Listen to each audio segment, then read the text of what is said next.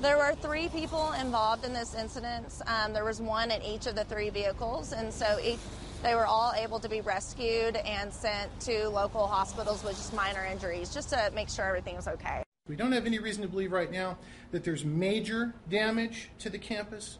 Most of what we're seeing is minor water damage to carpets and floors that will take some time to dry out.